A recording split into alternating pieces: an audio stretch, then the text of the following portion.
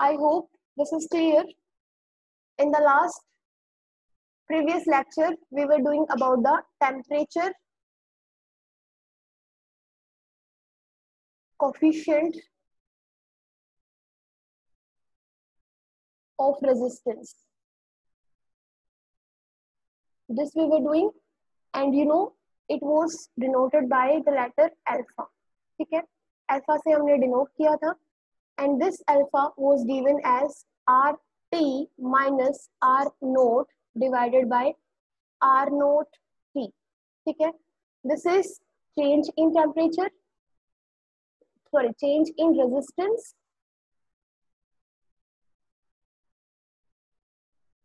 divided by this was your original resistance so original resistance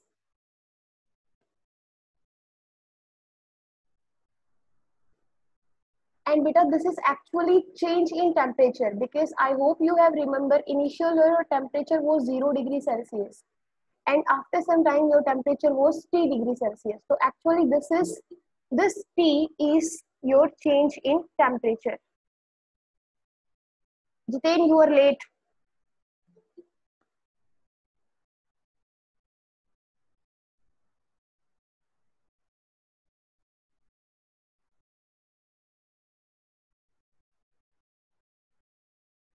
this is actually change in temperature. So, we can write change in temperature. ठीक है? तो today we have to understand this alpha कि ये alpha क्या है? इस alpha को हमें स्टडी करना है। अब देखिए, सबसे पहले alpha that is temperature coefficient of resistance ठीक है? ये मेटल्स के लिए क्या होगा? ठीक है? Temperature coefficient alpha for metals metals के लिए क्या होगा? तो देखिए, आपको पता है, आपके पास मेटल्स है सिल्वर है कॉपर है। ये सारे मेटल्स क्या होंगे? इनके लिए जो अल्फ़ा की वैल्यू होगी, वो पॉजिटिव होगी, ठीक है?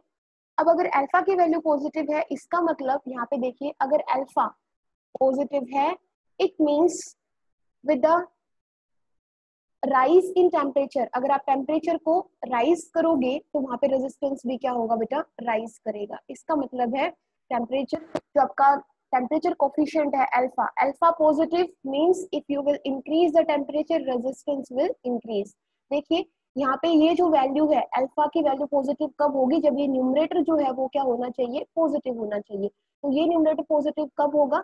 ये तब होगा then with the rise in temperature, your resistance is increasing. ठीक है? तो आप टेम्परेचर को राइज करो तो ये रेजिस्टेंस भी क्या करे? राइज करे। तो देखिए आर टी मतलब जो किसी टेम्परेचर टी के ऊपर जो रेजिस्टेंस होगा, उसकी वैल्यू ज़्यादा होगी in comparison to the original resistance और ये डिफरेंस जो है वो आपका क्या आएगा? पॉजिटिव तो अल्फ़ा भी आपका क्या रहेगा? पॉजिटिव तो मेटल्स के लिए अल्फ़ा पॉजिटिव रहेगा टेम्परेचर कोफिशिएंट आपका पॉजिटिव रहेगा that means with the increase in temperature resistance क्या हो रहा है? इंक्रीज हो रहा है.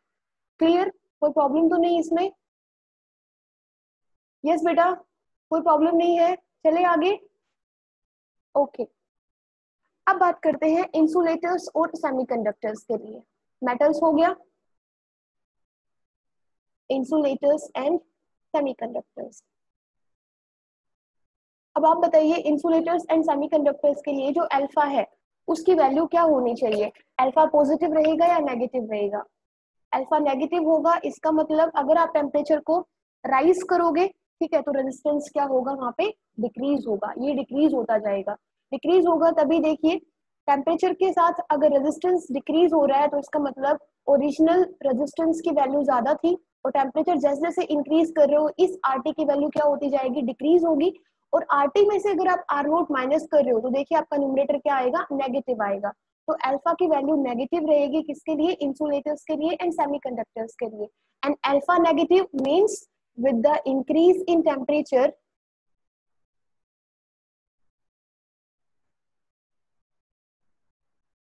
with the increase in temperature your resistance will decrease सुधा इतना late resistance will decrease I hope alpha positive कब होगा और नेगेटिव कब होगा ये क्लियर है। Alpha positive means with the rise in temperature resistance will increase alpha negative means with the rise in temperature temperature को increase करते जाओगे तो रेजिस्टेंस क्या होता जाएगा? डिक्रीज होता जाएगा। In that case alpha is negative negative किस किस के लिए है? इंसुलेटर के लिए एंड सेमीकंडक्टर के लिए। ये क्लियर है? किसी को कोई प्रॉब्लम तो नहीं है इसमें?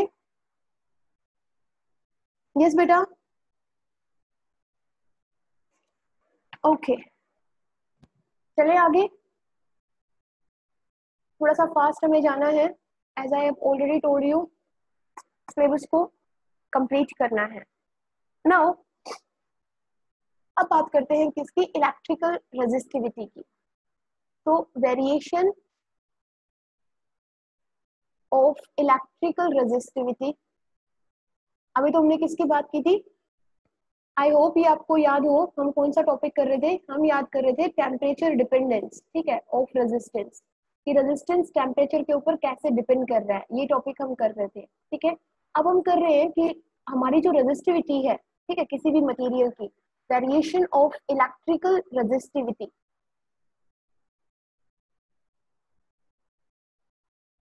with temperature की रेजिस्टिविटी कैसे चेंज होगी? ये तो अभी हमने क्या देखा था कि रेजिस्टेंस कैसे चेंज हो रहा था? कि टेम्परेचर को इंक्रीज कर रहे थे तो रेजिस्टेंस इंक्रीज हो रहा था किस केस में? मेटल्स के केस में. इंसुलेटर्स एंड सेमीकंडक्टर्स में हमने देखा कि टेम्परेचर को हमने जब इंक्रीज किया तो रेजिस्टेंस क्या हुआ? डिक्रीज तो ये this was the case with the temperature and resistance now we are seeing variation of electrical resistivity that is rho with temperature temperature के साथ तो आपकी रजिस्टिविटी है, वो कैसे वेरी होगी, वो हमें देखनी है, ठीक है?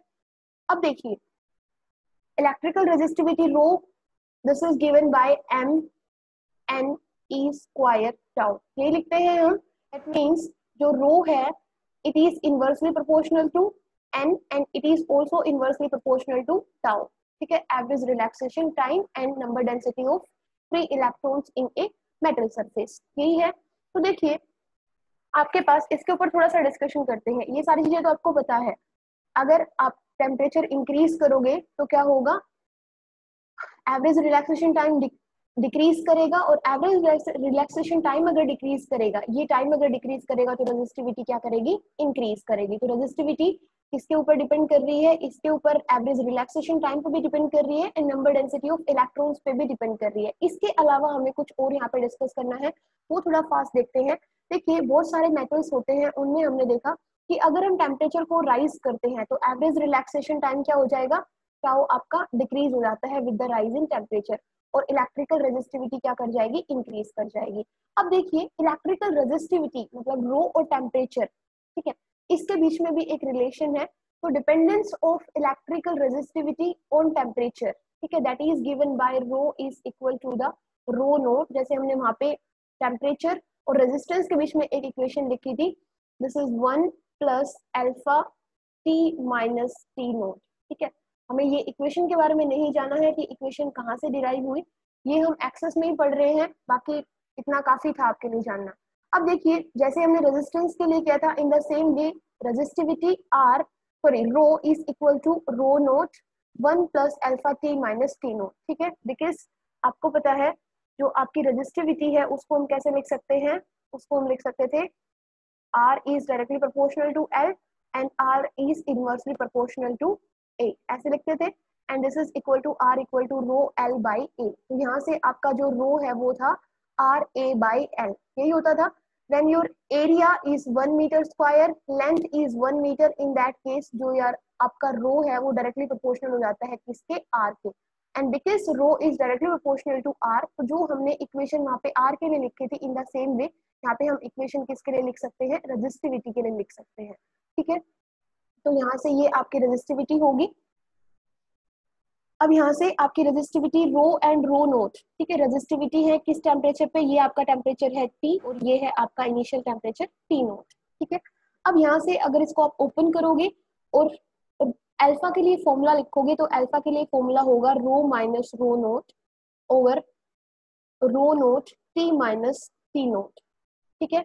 ये आप लिख सकते हो। अब देखिए टी माइनस टी नोट इसको हम क्या लिख सकते हैं? डी टी लिख सकते हैं। तो देखिए आपके पास होगा rho minus rho naught this is rho naught and ये आपके पास होगा डी टी ठीक है? चेंज इन टेम्परेचर इसको हम चेंज इन टेम्परेचर लिख सकते हैं। ठीक है बेटा? और इसको हम क्या लिख सकते हैं? चेंज इन रेजिस्टिविटी लिख सकते हैं।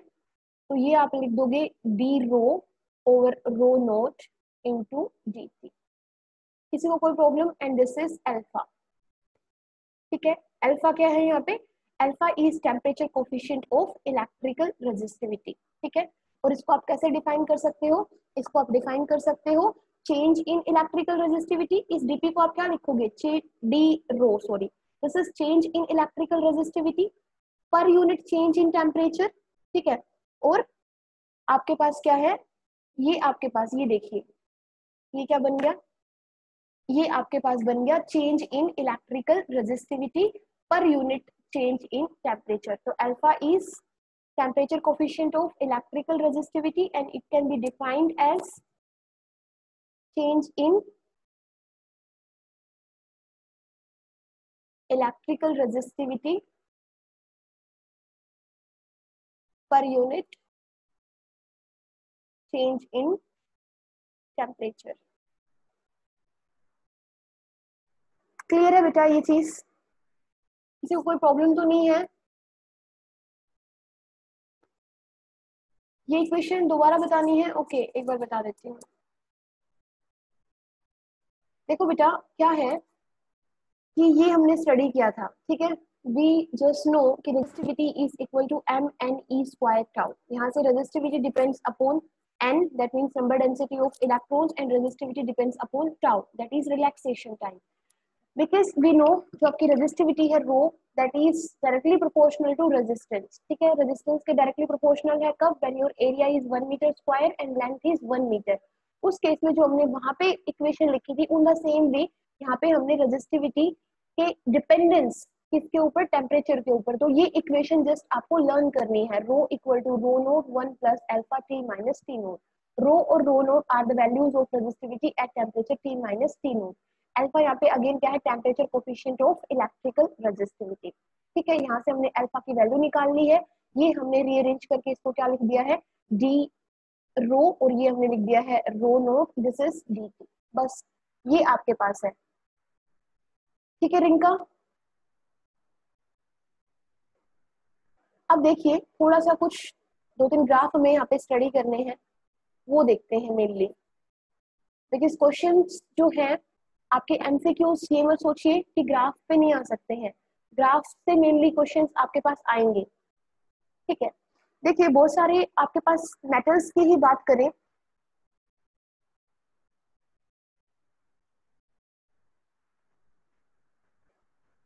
अगर हम मेटल्स की बात कर ले तो अल्फ़ा की वैल्यू यू नो पॉजिटिव होती है, ठीक है? चाहे रेजिस्टेंस के लिए ले रेजिस्टिविटी के लिए।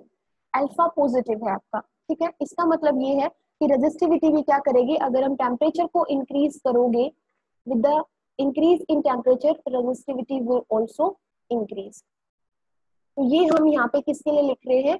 रेजिस्टिविटी और टेम्परेचर के लिए लिख रहे हैं। अल्फ़ा जो हमारे पास रेजिस्टिविटी के लिए आया है temperature coefficient of electrical resistivity alpha वो लिख रहे हैं मेटल्स के लिए।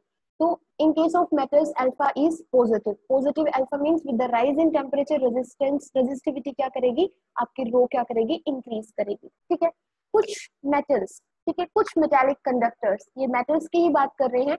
आउट ऑफ़ कुछ some metals some metallic conductors जिनकी वैल्यू अल्फ़ा जो है वो नियरली कितनी होती है? Four into ten to the power minus three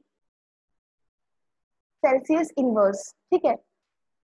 तो ये क्या होगी? देखिए, अभी अल्फ़ा की वैल्यू आपने देखी होगी, ये क्या थी? D rho over rho naught into t minus t naught तो ये तो रेजिस्टिविटी है, ये भी रेजिस्टिविटी है। कैंसिल हो जाएगी तो इसकी वैल्यू क्या होगी?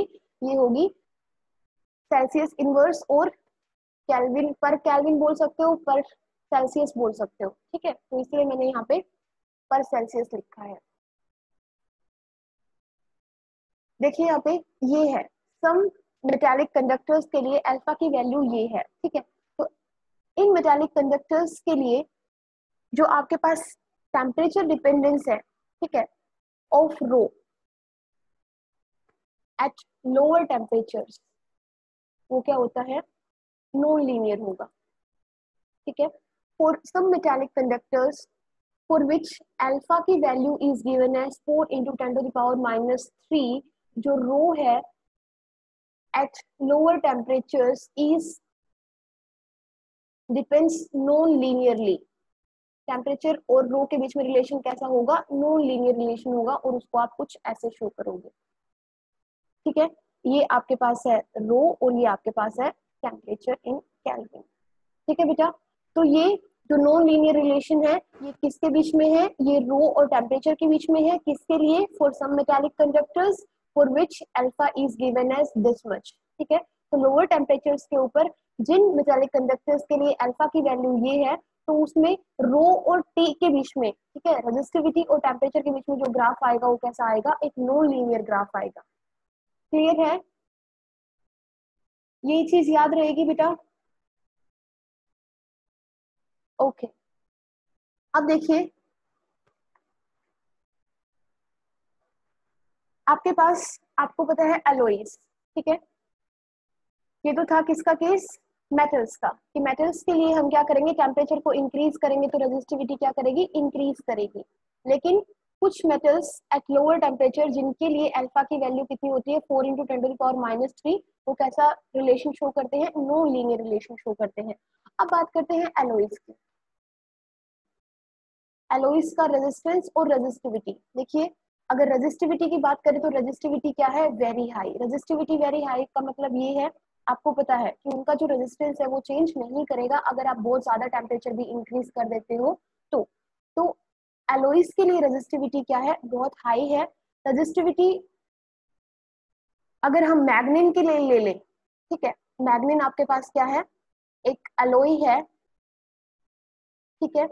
और ये जो एलोई है, इसका अगर हम टेम्परेचर देखें और रेजिस्टिविटी देखें तो ये जो है ऑलमोस्ट इसकी जो रेजिस्टिविटी है दैट इज़ ऑलमोस्ट इंडिपेंडेंट अगर रेजिस्टिविटी को हम वाई एक्सिस पे शो करें और टेम्परेचर को अगर हम एक्स एक्सिस पे शो करें इन दैट केस जो रेजिस्टिविटी है that is totally independent of temperature और देखिए कुछ ऐसा ग्राफ आएगा। ठीक है? This is mainly for manganin manganin हमारे पास एक एलोई है which is whose resistivity is almost independent of the temperature. तो ये ग्राफ जो है वो कुछ ऐसा आएगा, ठीक है? तो ये आपको कुछ देखना है। ये आपको मेनली जो जो आपकी बुक में ग्राफ है, वो आपको अच्छे से लर्न करने हैं, उनका मीनिंग समझना है कि क्या है। तो एलोइस की जो रेजिस्टिविटी होती है that is very high that means वो टेम्परेचर के साथ वेरी नहीं करती है, ठीक है? इसीलिए हम एलोइस को स्टैंडर्ड रेजिस्टेंस बनाने में यूज़ करते हैं। अभी बताऊँगी। नेक्स्ट है सेमीकंडक्टर्स के लिए आपकी अल्फ़ा की वैल्यू तो सेमीकंडक्टर्स अगर आपके होंगे तो उसमें अल्फ़ा क्या होगा? नेगेटिव वहाँ पे भी क्या आया था सेमीकंडक्टर्स और इंसुलेटर के लिए? नेगेटिव आया था। मतलब अगर रेजिस्टिविटी है टेम्परेचर को अगर आप इंक्रीज करते हो तो रेजिस्टिविटी क्या करेगी? आपकी डिक्रीज करेगी। ठीक है? इंसुलेटर्स में भी आपका ये आप साथ साथ लिख लीजिए अगर नहीं लिखा है तो। अल्फ़ा की वैल्यू क्या होगी? नेगेटिव होगी। अल्फ़ा की वैल्यू नेगेटिव है, इसका मतलब यहाँ पे भी अगर आप टेम्परेचर को इंक्रीज करते हो तो आपकी इलेक्ट्रिकल रेजिस्टिविटी क्या करेगी? डिक्रीज करेगी। ठीक है? तो रेजिस्टिविटी आपकी क्या करेगी? इंसुलेटर्स के लिए अल्फ़ा आपका नेगेटिव रहेगा। ठीक है? रेजिस्टिविटी क्या करेगी आपकी? टेम्परेचर नेगेटिव है, ये होगा। ठीक है रिलेशन अब बात करते हैं कुछ इलेक्ट्रोलाइट्स की। इलेक्ट्रोलाइट्स के केस में जो कोफिशियंट ऑफ़ रेजिस्टिविटी है, वो आपका क्या रहेगा? अल्फ़ा आपका क्या रहेगा? नेगेटिव रहेगा। यहाँ पे भी आपकी क्या करेगी? रेजिस्टिविटी डिक्रीज करेगी with the rise in temperature temperature में जैसे जैसे आप इंक्रीज करते जाओगे तो क्या होती जाएगी? डिक्रीज करती जाएगी। ठीक है? किसी को कोई प्रॉब्लम यहाँ पे? देखिए, ये चीज़ें ऐसी हैं। इनमें डाउट नहीं हो सकता है, लेकिन इसमें, इनमें कंफ्यूजन बहुत ज़्यादा हो सकता है आपको। ठीक है? ऐसा नहीं है कि आपको कंफ्यूजन नहीं होगा। एलोइस के लिए अल्फ़ा पॉजिटिव ही लिखे बेटा।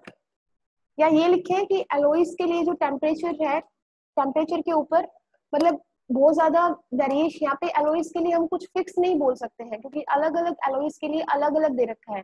यहाँ पे जो मैग्निन है, वो ऑलमोस्ट इंडिपेंडेंट है टेम्परेचर के ऊपर डिपेंड ही नहीं कर रही है। कुछ एलोइस ऐसी है जिनका वीक डिपेंडेंस है टेम्परेचर के ऊपर। ठीक है तो एलोइस का हम डायरेक्टली कुछ नहीं बोल सकते हैं। अब बात करते हैं नेक्स्ट टॉपिक की, यहाँ पे आपका जो एक पार्ट है, वो कंप्लीट हो गया है, ठीक है?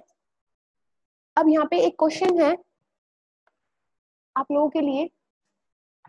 Why alloys like manganin eureka and constantan are used for making standard resistance की जो मैंने आपको बताया था एलोइज हैं, उनको हम स्टैंडर्ड रेजिस्टेंस बनाने के लिए क्यों यूज़ करते हैं? स्टैंडर्ड रेजिस्टेंस मींस सपोज़ हमने एक फाइव ओम का रेजिस्टेंस बना लिया है कि ये रेजिस्टेंस क्या है? एक स्टैंडर्ड रेजिस्टेंस है। अब दूसरा कोई भी रेजिस्टेंस अगर हमें मेजर करना हो तो हम क्या करेंगे? उस फाइव ओम से क्या करेंगे? कंपेयर करेंगे।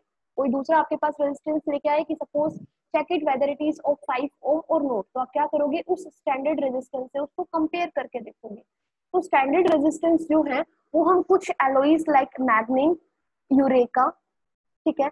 या फिर कॉन्सनेंट इन्हीं का हम क्यों by using these alloys why do we why these alloys are used in making standard resistance ऐसा क्या होता है कि इन alloys को हम standard resistance बनाने के लिए यूज़ करते हैं तो बता सकता है yes Hemlata Tamanna Priyanka Shruti Varsha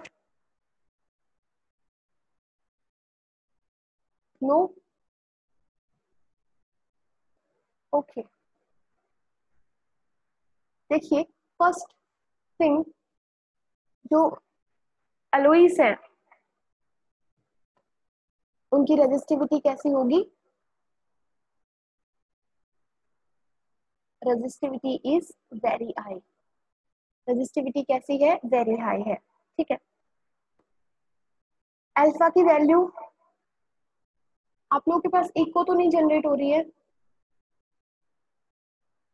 यहाँ पे रेजिस्टेंस जो है, वो चेंज नहीं होता है, ठीक है? किसके साथ? टेम्परेचर के साथ, ठीक है? तो थर्ड वेल ये हो गया कि रेजिस्टेंस इनका चेंज नहीं होता है। मेनली तो यही कंडीशन होती है कि रेजिस्टेंस जो है, इन स्टैंडर्ड एलोइस का स्टैंडर्ड रेजिस्टेंस बनाने के लिए जो हम अलोइस यूज़ कर रहे हैं, इन अलोइस का रेजिस्टेंस चेंज नहीं होता है। ठीक है? इसी रीजन से हम क्या करते हैं? इनको स्टैंडर्ड रेजिस्टेंस बनाने यूज़ करते हैं ठीक है? और इनका रेजिस्टेंस जो है that is not affected by the your atmospheric we can say air moisture ठीक है? इन सब चीज़ों से इनका जो रेजिस्टेंस uh, है इन एलोइस का वो भी चेंज नहीं होता है। तो तीन चीज़ें हैं रेजिस्टिविटी हाई है ठीक है? टेम्परेचर से रेजिस्टेंस चेंज नहीं होता है। थर्ड इनका resistance is not affected by air moisture etcetera ठीक है? इन सब चीज़ों की एक मिनट बेटा इको हो रही है तो एक मिनट होल्ड कीजिए आप।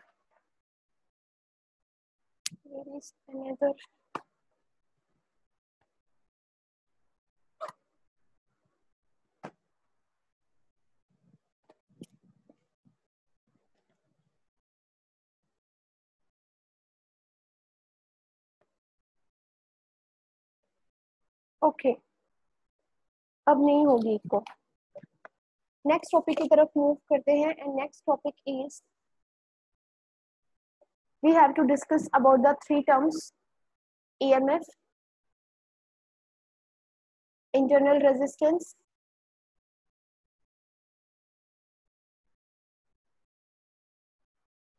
and third thing is terminal potential difference of a cell ठीक है what is the emf of cell what is internal resistance of the cell and third is terminal potential difference of a cell these are the three things which we have to understand about a cell आप सबको पता है cell क्या होती है आपके पास दो electrodes होती है डिप्ट इन इलेक्ट्रोलाइटिक सॉल्यूशन उसको हम क्या कहते हैं? सेल बोलते हैं। एक इलेक्ट्रोड आपके पास पॉजिटिव होता है, एक इलेक्ट्रोड आपके पास कैसा होता है? नेगेटिव होता है। हम उसके डिटेल में नहीं जाएँगे। अभी किसी को को प्रॉब्लम नहीं आ रही ना? अब सेल के कंस्ट्रक्शन में हम नहीं जाएँगे। ठीक है? सेल का कंस्ट्रक्शन आप लोग केमिस्ट्री में स्टडी कर सकते हो। ठीक है? वो आपको पता है कि सेल क्या होता है। सेल में दो इलेक्ट्रोड्स होते हैं। ठीक है? एक इलेक्ट्रोड पॉजिटिव होता है, एक इलेक्ट्रोड नेगेटिव होता है. There is some potential difference between the two electrodes उसी सेल की हम यहाँ पे बात कर रहे हैं. तो we have to understand about the what is EMF of the cell ठीक है? Internal resistance of the cell क्या होता है? Then we have to discuss about the terminal potential difference ये आपके लिए सबसे मेन है. सबसे मतलब आपने पहले कभी टर्मिनल पोटेंशियल डिफरेंस के बारे में नहीं सुना होगा. तो E M F E M F is वही जो हमने स्टडी किया था सबसे पहले इलेक्ट्रोमोटिव फोर्स ठीक है? ई एम एफ़ क्या है?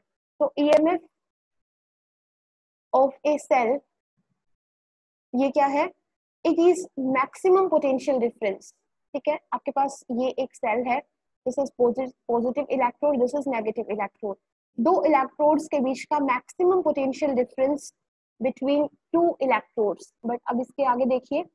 दो इलेक्ट्रोड्स के बीच का मैक्सिमम पोटेंशियल डिफरेंस है of the cell when no current is drawn from the cell जब आप सेल से कोई भी करंट ड्रो नहीं करते हो दैट मीन्स ये आपके जो सर्किट है, जिस सर्किट में आपने सेल को लगाया है, वो कैसी सर्किट है? एक ओपन सर्किट है। अभी मैं सर्किट बना के दिखा दूँगी आपको। तो the potential difference between two electrodes of a cell when no current is drawn from the cell जब सेल में से कोई भी करंट आप ड्रो नहीं कर रहे हो, उस केस में जो दो इलेक्ट्रोड्स के बीच में जो मैक्सिमम पोटेंशियल डिफरेंस है that is known as EMF of a cell ठीक है? अब आते हैं इंटरनल रेजिस्टेंस कि इंटरनल रेजिस्टेंस क्या होता है? अब ये इंटरनल रेजिस्टेंस भी किसका होगा बेटा? इस सेल का ही होगा। ठीक है? इस सेल का ही अपना एक इंटरनल रेजिस्टेंस होगा, जिसको हम किससे डिनोट करेंगे? स्मॉल आर से डिनोट करेंगे। ये जो ईएमएफ है, इसको मेनली हम इस लेटर से डिनोट करते हैं। E की तरह कुछ एफ़ साइलेंट भी बोल सकते हो, ठीक है? Just like E internal resistance of the cell is denoted by small r ठीक है? It is defined as the resistance offered by the electrolyte आपको पता है सेल के अंदर क्या होता है? कुछ ऐसे ही होते हैं, दो इलेक्ट्रोड्स होते हैं आपके, ठीक है? और ये इलेक्ट्रोलाइटिक सॉल्यूशन होता है आपका। तो ये जो इलेक्ट्रोलाइट है, ये कितना रेजिस्टेंस ऑफ़र कर रहा है, ठीक है? To the electrodes of a cell ठीक है? तो it is defined as the resistance offered by the electrolyte and the electrodes तो इलेक्ट्रोड्स और इलेक्ट्रोलाइट कितना रेजिस्टेंस ऑफ़र कर रहे हैं कब? इलेक्ट्रिक करंट के पैसेज में। तो internal resistance is defined as the resistance offered by electrolyte and electrodes to the passage of the electric current. ठीक है?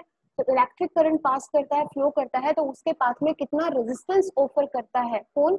ये जो आपके सेल के अंदर जो इलेक्ट्रोड्स हैं और जो इलेक्ट्रोलाइट है, ठीक है? वो दोनों मिलके कितना रेजिस्टेंस ऑफ़र कर रहे हैं? That is known as internal resistance internal resistance में किसी को कोई प्रॉब्लम तो नहीं? Okay okay. अब थर्ड थिंग है वो क्या है आपके पास?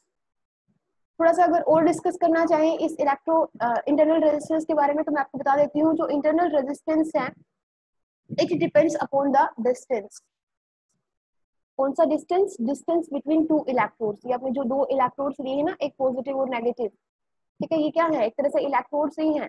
तो इन दो पॉजिटिव और नेगेटिव यहाँ पे, ये सेल का कंस्ट्रक्शन है, कुछ ऐसा डायग्राम होता है। तो ये जो दो आपके टर्मिनल्स हैं यू कैन से या फिर सेल के जो दो इलेक्ट्रोड्स हैं, उनके बीच में कितना डिस्टेंस है, उसके ऊपर डिपेंड करेगा दिस आर ये जो नेचर है कंसेंट्रेशन है and temperature of the electrolyte तो ये इलेक्ट्रोलाइट का जो सोल्यूशन है, इसका टेम्परेचर कितना है, इसकी कंसेंट्रेशन कितनी है, ठीक है? एंड थर्ड इसका नेचर कैसा है?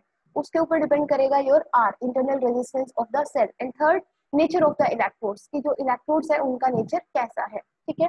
थर्ड जो एरिया है इलेक्ट्रोड्स का how much area of the electrodes is immersed in this electrolyte इन इलेक्ट्रोड्स का कितना एरिया इस इलेक्ट्रोलाइट में क्या है? इमर्स किया हुआ है। This internal resistance is depends on this that area also ठीक है? Area of electrodes immersed in electrolyte ठीक है? ये सारी चीज़ें आपको बुक में गिवन है। आपको यही सब स्टडी करना है। ठीक है? एक चीज़ और, अगर आप इस एरिया को इंक्रीज करोगे, ठीक है? This area if you will increase this area in that case जो इंटरनल रेजिस्टेंस है आपका वो क्या करेगा? डिक्रीज करेगा। तो याद रखें अगर आप इस एरिया को इंक्रीज करते हो तो क्या होगा? इंटरनल रेजिस्टेंस डिक्रीज करेगा। कोई प्रॉब्लम टर्मिनल पोटेंशियल डिफरेंस पे चले कोई प्रॉब्लम नहीं है। यस yes, आगे चलू। बेटा इंटरनल रेजिस्टेंस क्या है? इंटरनल रेजिस्टेंस सेल का ही इंटरनल रेजिस्टेंस है, ठीक है? ये जो सेल है आप उसे जिससे मिला के आपको ज्वाइन करके बहुत सारी सेल्स मिला के क्या बनाते हो? एक बैटरी बनाते हो तो हर सेल का अपना इंडिविजुअल रेजिस्टेंस होता है। इस रेजिस्टेंस को हम बोलते हैं internal resistance of the cell इसको आप कैसे डिफाइन करोगे? This internal resistance is the resistance offered by electrodes ठीक है? एंड इलेक्ट्रोलाइट क्योंकि आपको पता है सेल कैसे मिलके बना होता है। सेल के अंदर हम दो इलेक्ट्रोड्स लेते हैं। इन इलेक्ट्रोड्स को किसी इलेक्ट्रोलाइट के अंदर क्या करते हैं? इमर्स करते हैं। ठीक है? तो क्या होता है? जब ये इलेक्ट्रोलाइट सॉल्यूशन है, जैसे सी यू फोर है तो जब ये ब्रेक होगा सी यू प्लस एस और एसओ फोर माइनस तो एक तरफ़ सी यू प्लस आ जाएँगे, एक तरफ़ एसओ फोर माइनस आ जाएँगे। तो ये सेल आपकी हो गई पॉजिटिवली चार्ज और ये हो गई आपकी नेगेटिवली चार्ज कुछ ऐसे ही स्टडी करते हो सेल को।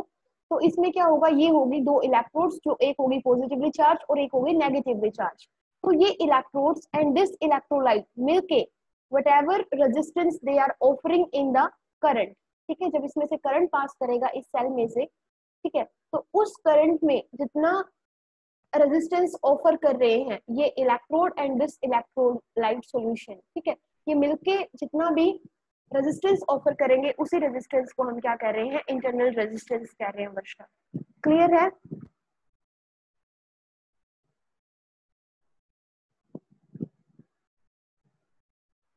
बेटा डायरेक्ट रिलेशन होगा। इनवर्स रिलेशन नहीं डायरेक्ट रिलेशन ही है। ओके अब चलते हैं इसके ऊपर।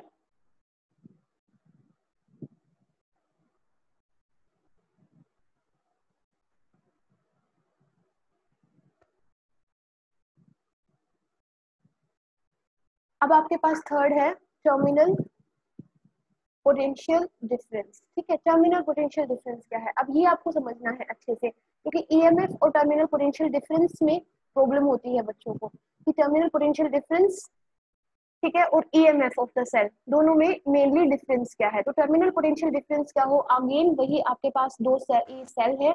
इस सेल को आप मान लो किसी भी सर्किट के अंदर क्या कर देते हो? ज्वाइन कर देते हो, ठीक है? तो ये सेल अब सर्किट के अंदर आ गया है। और यहाँ पे अगर आप एक की भी लगा देते हो, देखिए कुछ ऐसे।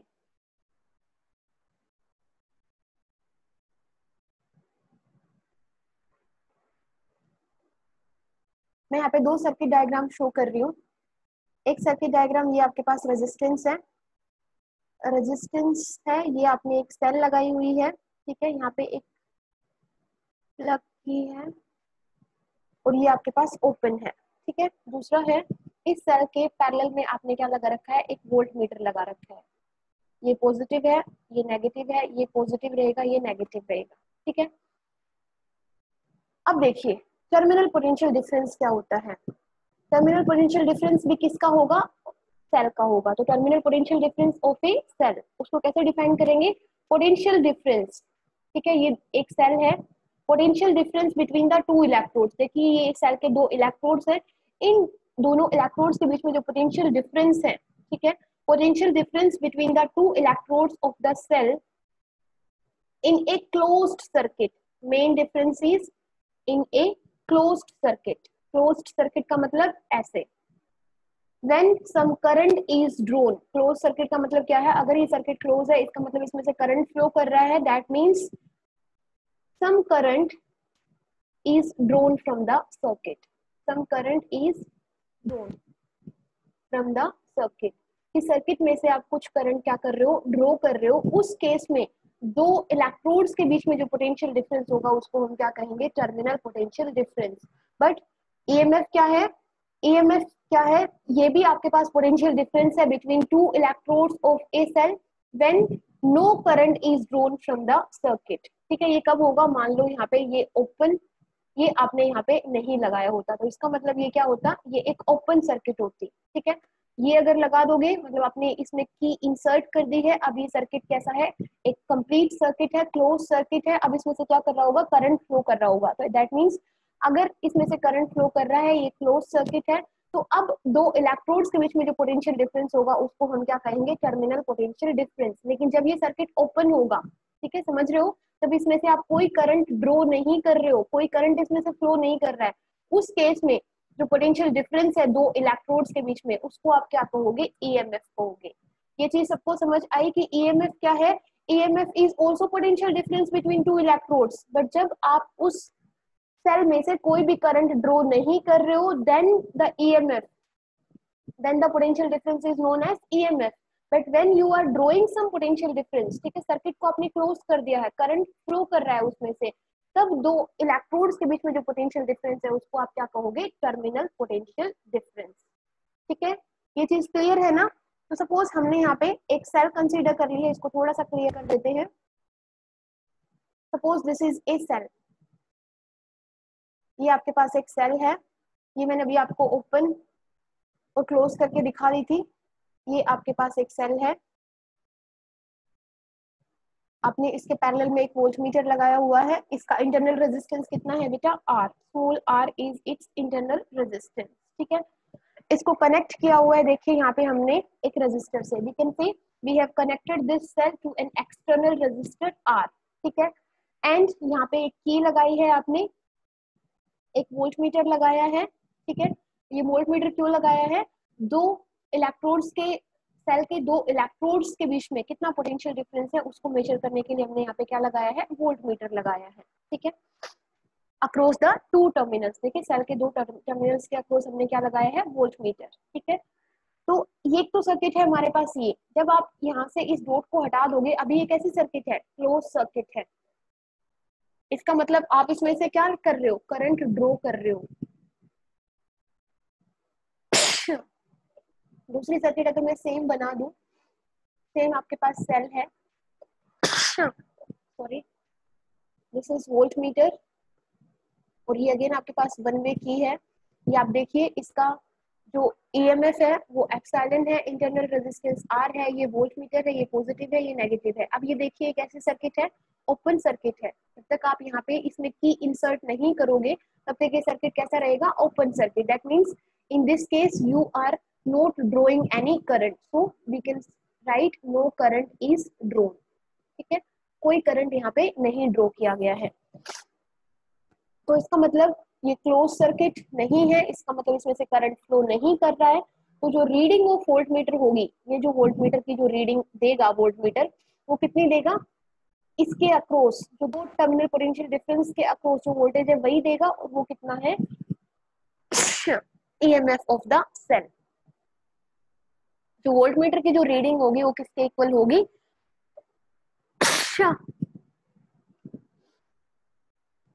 याद करिए फिर से थोड़ा सा रिमाइंड कीजिए। When your circuit is open circuit ठीक है? In that case the reading of the voltmeter is equal to the EMF of the cell ठीक है? When the circuit is close circuit the reading of the voltmeter ठीक है? Volt meter जो आपको potential difference दिखाएगा, वो किसके equal होगा? टर्मिनल पोटेंशियल डिफरेंस के। तो यहाँ पे जो पोटेंशियल डिफरेंस होगा, दो दो टर्मिनल्स के बीच में उसको हम क्या कहेंगे? Terminal potential difference because circuit close है क्लोज है, और हम इसमें से क्या कर रहे हैं? करंट फ्लो कर रहे हैं। और यहाँ पे जो पोटेंशियल डिफरेंस होगा, उसको हम क्या कहेंगे? ईएमएफ ऑफ़ द सेल तो यहाँ पे वोल्ट मीटर की जो रीडिंग होगी, वो सेल का जो एक्चुअल में ईएमएफ है, उसके इक्वल होगी। और यहाँ पे जो टर्मिनल पोटेंशियल डिफरेंस है बेटा, क्योंकि करंट कुछ फ्लो कर रहा है तो यहाँ पे जो वोल्ट मीटर की रीडिंग होगी, उसको हम क्या कहेंगे? वोल्ट मीटर जो हमें शो करेगा, वो कौन सा ईएमएफ शो करेगा? वो हमें टर्मिनल पोटेंशियल डिफरेंस शो करेगा। अब आपके मन में क्वेश्चन ये आ रहा होगा कि टर्मिनल पोटेंशियल डिफरेंस और ईएमएफ में से बड़ी वैल्यू किसकी होती है? तो आप बता सकते हो थोड़ा बहुत आपने अभी इसके बारे में स्टडी कर लिया है कि टर्मिनल पोटेंशियल डिफरेंस और आपके पास ईएमएफ ऑफ़ द सेल दोनों में से लार्ज वैल्यू किसकी होगी? बता सकता है कोई? तमन्ना? सपना, नेहा, श्रुति। टर्मिनल की। वेरी गुड आप एक बात बताइए। आपकी गलती नहीं है। ये सर्किट ओपन सर्किट है। इसको आप सेल को यूज़ ही नहीं कर रहे हो। इसका पहले भी एट वोल्ट था, अभी भी एट वोल्ट है। इस सर्किट में आप क्या कर रहे हो? देखिए, यहाँ पे ये एक सोर्स ऑफ़ एनर्जी है। ठीक है सेल को आप इस सोर्स ऑफ़ एनर्जी यूज़ कर रहे हो। सर्किट क्लोज है। इसी सेल की वजह से यहाँ पे क्या कर रहा है? करंट फ्लो कर रहा है. V equal to I R समझ रहे हो? तो कुछ पोटेंशियल ड्रॉप तो होगा यहाँ पे. तो यहाँ पे 8 वोल्ट है तो ऑब्वियसली यहाँ पे 8 से कुछ ना कुछ लेस वैल्यू ही मिलेगी. तो टर्मिनल पोटेंशियल डिफरेंस की वैल्यू क्या होगी? कम होगी किससे? ईएमएफ ऑफ़ द सेल क्योंकि यहाँ पे जितना आपने सेल बनाया है, ठीक है, ये सेल अभी यूज़ नहीं हुआ है. इसमें से आपने कोई करंट ड्रो नहीं किया है तो इसकी वैल्यू जितनी थी उतनी ही है. लेकिन यहाँ पे क्योंकि करंट फ्लो कर रहा है इस सर्किट में तो कुछ ना कुछ वोल्टेज ड्रॉप भी है यहाँ पे, V equal to I R ठीक है? करंट फ्लो कर रहा है। इंटरनल रेजिस्टेंस भी है। आपने एक्सटर्नल रेजिस्टेंस भी यहाँ पे लगाया हुआ है तो कुछ ना कुछ वोल्टेज ड्रॉप होगा यहाँ पे। वोल्टेज डिफरेंस आपको मिलेगा। तो यहाँ पे अगर 8 वोल्ट है तो ये वैल्यू पक्का 8 वोल्ट से कुछ ना कुछ आपको कम मिलेगी। तो E M F of the cell is greater than your terminal potential difference clear है? इस पे आएँगे अभी। इट इज़ क्लियर है? ओके. तो देखिए, जब आपने की को क्लोज कर दिया है,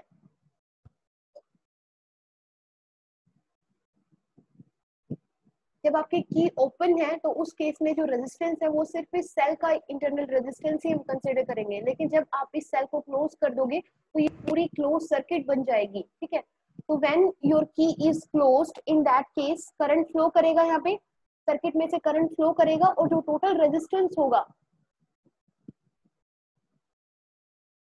टोटल रेजिस्टेंस होगा, देखिए ये सेल और ये रेजिस्टेंस कैसे कनेक्टेड है? सीरीज़ में कनेक्टेड है, ठीक है? तो यहाँ पे जो टोटल रेजिस्टेंस होगा सेल का, वो सॉरी इस सर्किट का वो कितना होगा? वो होगा आर प्लस कैपिटल आर ठीक है? यहाँ से अब थोड़ा सा एक दो चीज़ें हम रीअरेंज करेंगे, जहाँ पे प्रॉब्लम हो बता देना। यहाँ से मैग्नीट्यूड ऑफ़ करंट अगर मैं निकालने लगू तो वो क्या होगा? आई आपके पास होता है V by R I equal to V by R यहाँ पे v क्या होगा? V होगा आपके पास ईएमएफ ऑफ़ द सेल और r आपके पास ये है। R प्लस आर ठीक है? पोटेंशियल डिफरेंस क्या होगा? Potential difference across this small r ये जो सेल है, इस सेल का अपना एक रेजिस्टेंस है। ठीक है? इसका खुद का इंटरनल रेजिस्टेंस है आर ठीक है? तो इस सेल के अक्रॉस जो पोटेंशियल डिफरेंस होगा, उसको हम क्या लिख सकते हैं? V equal to I R ठीक है? और आर यहाँ पे कौन सा है? स्मॉल आर तो potential difference across r internal resistance of the cell और you can say potential difference across the cell जिसका इंटरनल रेजिस्टेंस कितना है? आर तो उसको आप क्या लिख सकते हो? आई इंटू आर ठीक है? तो जो आपको वोल्ट मीटर यहाँ पे रीडिंग देगा किसमें क्लोज सर्किट के अंदर तो वो वोल्ट मीटर की रीडिंग कितनी होगी? वोल्ट मीटर की reading is given as epsilon minus I R तो ये आपके पास क्या है? ये आपके पास है टर्मिनल पोटेंशियल डिफरेंस ये आपके पास है ईएमएफ e और ये आपके पास क्या है? वोल्टेज ड्रॉप भी बोल सकते हो आप इसको। या फिर क्या बोल सकते हो? कि आई आपके पास जो करंट फ्लो कर रहा है आर मतलब जो सेल का इंटरनल रेजिस्टेंस है वो। तो देखिए यहाँ पे ये है वोल्ट मीटर की रीडिंग ठीक है, यहाँ पे, ये क्लोज सर्किट के अंदर। तो वोल्ट मीटर जो रीडिंग आपको शो कर रहा है, वो, ये जो ईएमएफ है एक्चुअल में जो पोटेंशियल डिफरेंस है, दो सेल्स सेल के दो इलेक्ट्रोड्स के बीच में जब ये क्या है, एक ओपन सेल है, ठीक है, किसी सर्किट के अंदर अभी आपने इसको यूज़ नहीं किया है। तो इस टाइम पे इसके दो सेल्स के बीच में जो पोटेंशियल डिफरेंस है, उसको ये बोलोगे ईएमएफ बोलोगे तो ईएमएफ में से देखिए कुछ माइनस हो रहा है, ठीक है। तो इसका मतलब ईएमएफ में से अगर आपने कुछ डिक्रीज कर दिया है वो वैल्यू होगी टर्मिनल पोटेंशियल डिफरेंस की। तो terminal potential difference is less than by the EMF of cell how much IR अगर मैं आपको बोलूँ कि टर्मिनल पोटेंशियल डिफरेंस ईएमएफ से कितना कम है तो आई आर कम है। ठीक है? अब यहाँ से आप देखिए, ये चीज़ आप निकाल सकते हो। V की value that means terminal potential difference of the electrodes is equal to the EMF of the cell ठीक है? माइनस में voltage drop across the cell cell के अक्रॉस जो वोल्टेज ड्रॉप है, I into r V is equal to I R यही होता है, इसको आप क्या बोल सकते हो? वोल्टेज ड्रॉप भी बोल सकते हो। पोटेंशियल डिफरेंस भी बोल सकते हो। Across the two ends of the cell cell के अक्रॉस जो दो इलेक्ट्रोड्स हैं, उनके अक्रॉस जो पोटेंशियल डिफरेंस है, उस, उसको हम क्या कर रहे हैं? माइनस कर रहे हैं। तो वी में से जो आपका पोटेंशियल डिफरेंस होगा ठीक है? या ये कह दो कि टर्मिनल पोटेंशियल डिफरेंस किस केस में? क्लोज सर्किट में, ठीक है? वो क्या होगा? एप्साइलन माइनस आई आर जब आपके पास ये सर्किट कैसी होगी? ओपन सर्किट होगी मतलब ये वाला केस तो उस केस में जो आपका वी होगा, वो किसके इक्वल होगा? एप्साइलन के इक्वल होगा, ठीक है? मतलब जो वोल्ट मीटर की जो रीडिंग होगी वोल्ट मीटर आपको कौन सी रीडिंग देगा? टर्मिनल पोटेंशियल डिफरेंस की रीडिंग देगा। तो वो जो रीडिंग होगी, वो किसकी इक्वल होगी? आपके ईएमएफ ऑफ़ द सेल के इक्वल होगी। इसमें कोई चेंज नहीं होगा। लेकिन यहाँ पे जो टर्मिनल पोटेंशियल डिफरेंस मतलब जो वोल्ट मीटर आपको रीडिंग देगा, वो एक्चुअल में कम होगी किससे? E EMF of the cell से। थोड़ा बहुत क्लियर हुआ? क्लियर है? ओके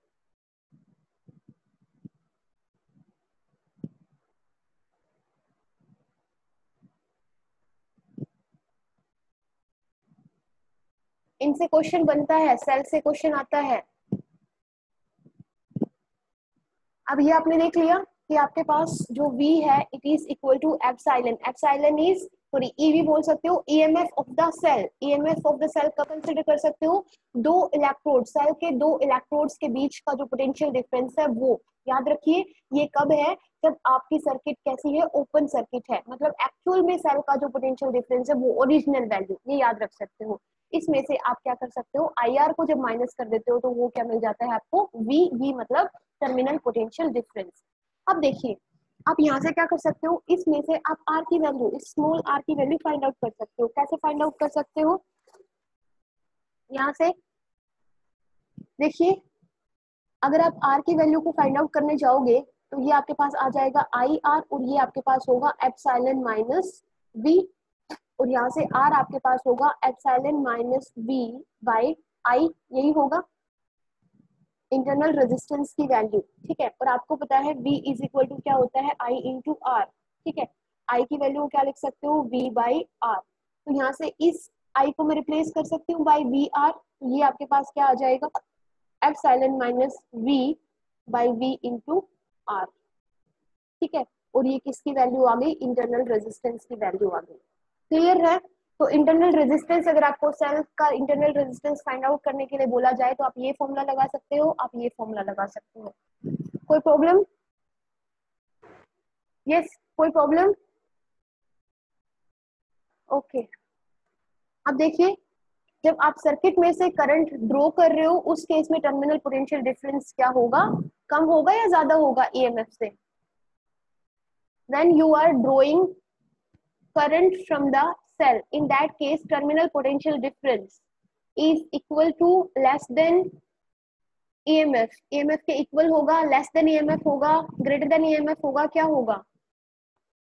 जब आप सर्किट में से करंट ड्रॉ कर रहे हो दैट मीन सर्किट कैसी है? एक क्लोज सर्किट है। उस केस में टर्मिनल पोटेंशियल डिफरेंस मतलब वोल्ट मीटर की जो रीडिंग रहेगी, वो क्या रहेगी? तो टर्मिनल पोटेंशियल डिफरेंस होगा वो एप्साइलन मतलब ईएमएफ ऑफ़ द सेल से बड़ा होगा, छोटा होगा, उसके इक्वल होगा। बताइए, इतना टाइम नहीं लगना चाहिए। यस लेस होगा, ठीक है? इसमें कंफ्यूज नहीं होना है। तो जब आप करंट ड्रॉ कर रहे हो, इसका मतलब सर्किट कैसी है? क्लोज सर्किट है। क्लोज सर्किट है तो जो टर्मिनल पोटेंशियल डिफरेंस है वी मतलब terminal potential difference terminal potential difference को आप वी से ही डिनोट करोगे and this is always less than by the EMF. How much? This much. ठीक है ओके. दूसरी चीज़।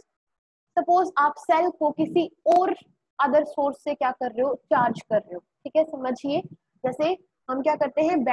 घर में सपोज़ आप बैटरी का यूज़ करते हुए एक सेल को क्या कर रहे हो? चार्ज कर रहे हो। समझिए? Cell is charge by some other electric source ठीक है?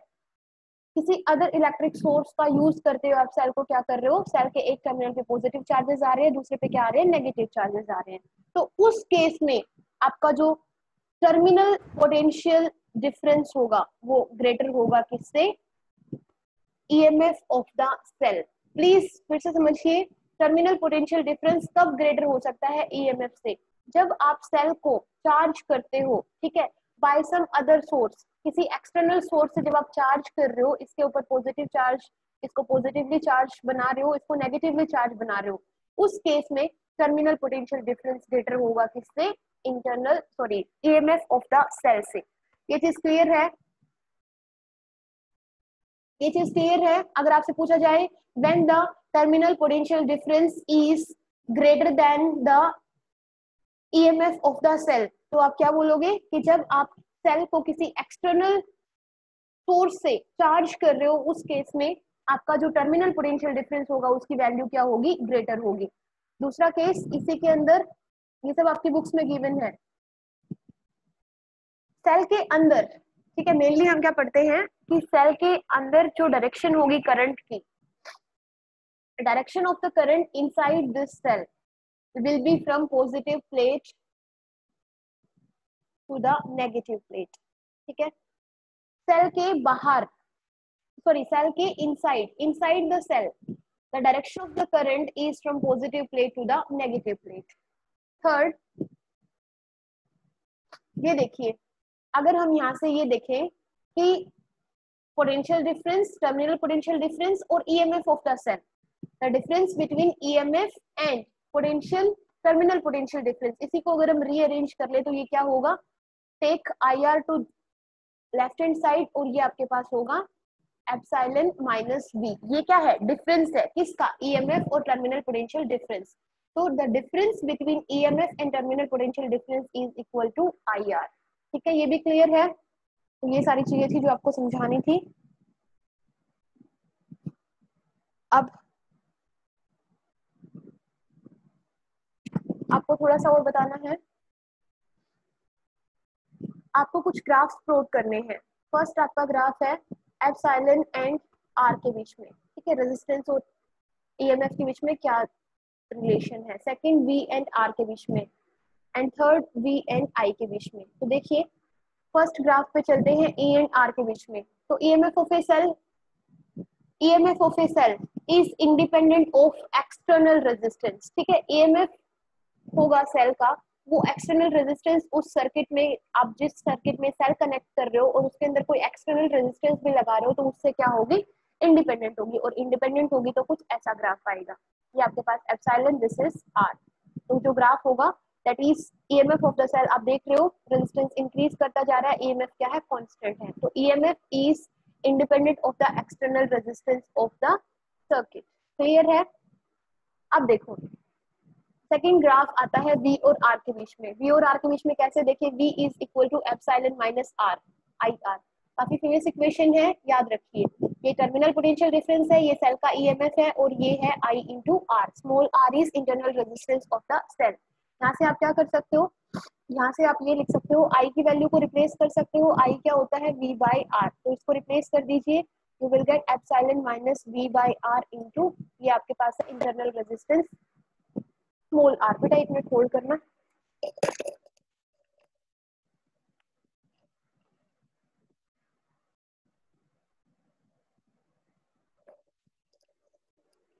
ठीक है, इसको आप रीअरेंज करके लिख सकते हैं। कैसे लिख सकते हो? यहाँ से this is equal to V ठीक है रीअरेंज करेंगे तो देखिए, ये यहाँ पे अगर इसको लेफ़्ट साइड में लेंगे तो ये प्लस हो जाएगा, v plus V by R small R ठीक है? And this is equal to epsilon यहाँ से v कॉमन ले सकते हो, v कॉमन लोगे तो this is one one by R ठीक है? एंड यहाँ पे आपके पास क्या है? ये है। ठीक है? And this is equal to epsilon यहाँ से अगर आप v की वैल्यू निकालना चाहो तो v क्या होगा? ये होगा epsilon over one plus small r over r. ठीक है? ये वैल्यू होगी किसकी? टर्मिनल पोटेंशियल डिफरेंस की। तो यहाँ से ये देखिए, अगर आप क्या करते हो, r को इंक्रीज करते हो, ठीक है? r को इंक्रीज करोगे तो ये v भी क्या करेगा? इंक्रीज करेगा। तो with the rise in external resistance आपका जो v है वो भी क्या करेगा? इंक्रीज करेगा। तो ये अगर इंक्रीज करेगा तो देखिए, अगर v आपके पास इनफाइनाइट हो जाता है तो उस केस में क्या हो जाएगा? वन बाय ज़ीरो ठीक है, ये हो जाएगा इनफाइनाइट समथिंग ओवर इनफाइनाइट क्या बन जाएगा? ज़ीरो और ये वन ही है तो उस केस में आपका v किसके इक्वल हो जाएगा? एप्साइलन के इक्वल हो जाएगा. ठीक है तो इस केस में हम क्या करेंगे? आपका जो कर्व है, वो ऑलमोस्ट पैरेलल हो जाएगा जो ग्राफ होगा, देखिए, वो कुछ ऐसा ग्राफ आएगा. मतलब एक एक्सिस पे आप v ले रहे हो एक एक्सेस पे आप आर ले रहे हो, समझिए। क्या हो रहा है? वी को इंक्रीज करते जा रहे हो आर बी आर को इंक्रीज करते जा रहे हो वी भी क्या कर रहा है? इंक्रीज करते जा रहा है। एक टाइम ऐसा आ रहा है when you have increase the resistance up to infinity ठीक है? इंफिनिटी हुआ तो वन बाय इनफाइनाइट क्या हुआ? ज़ीरो आर बाय इनफाइनाइट तो ये हो जाएगा आपके पास ज़ीरो उस केस में आपका ये क्या बन जाएगा ऑलमोस्ट वी किसके इक्वल आ जाएगा? एफ़ साइलन के। तो उस केस में जो आपका ये जो कर्व है, ये ऑलमोस्ट पैरेलल हो जाएगा किसके? रेजिस्टेंस के। ये चीज़ क्लियर है? किसी को कोई प्रॉब्लम इसमें? यस बेटा, जल्दी बताइए, कोई प्रॉब्लम है तो आगे चलें। ये सारा बुक्स में गिवन है। यहाँ से अगर आप जाके इस लेक्चर को रिवाइज करेंगे तो कहीं पे आपको प्रॉब्लम नहीं आएगी। लेकिन अगर बंद करके रख देंगे तो डेफिनेटली प्रॉब्लम आएगी। और आज मीटिंग में कुछ बच्चे बोल रहे थे कि मैम कंफ्यूजन हो रहा है। कंफ्यूजन क्यों हो रहा है? कंफ्यूजन होना चाहिए तो अभी होना चाहिए। अगर बाद में कंफ्यूजन हो रहा है that mean that is because of your negligence कि आप डेली का काम डेली नहीं कर रहे हो। आपको थोड़ी में कंफ्यूजन हो रहा है, फिर न्यूमेरिकल्स में क्या होगा? अब है थर्ड v एंड आई के बीच में रिलेशन सेम हम वही चलेंगे, v is equal to epsilon minus I R ये है आपके पास, ठीक है? यहाँ से अगर मैं इसको पहले लिख दूँ तो ये आपके पास हो जाएगा ये। मैंने सिर्फ़ इक्वेशन को रीअरेंज कर दिया है। अब देखिए, आप अगर आई की वैल्यू को अगर जितना इंक्रीज करते जाएँगे, उतना ही यहाँ पे जो वैल्यू है वो कम होती जाएगी, ठीक है? ये वैल्यू कम होती जाएगी मतलब v क्या करता जाएगा? डिक्रीज करता जाएगा, समझिए। आप इस आई को अगर जितना बढ़ाते जाएँगे, ठीक है तो इसके आगे साइन कितना है? माइनस का। तो इसका मतलब एप्साइलन में से उतनी ही बड़ी वैल्यू माइनस होती जाएगी और यहाँ पे जो डिनो ये जो आपको रिज़ल्ट है, वो क्या होता जाएगा? डिक्रीज होता जाएगा और ये रिज़ल्ट डिक्रीज होता जाएगा। दैट मीन्स आपके पास ये रिज़ल्ट क्या है? ये टर्मिनल पोटेंशियल डिफरेंस ही है। तो आई को अगर आप इंक्रीज करते जाओगे तो वी क्या होता जाएगा? डिक्रीज होता जाएगा और ग्राफ आपके पास कुछ ऐसा होगा।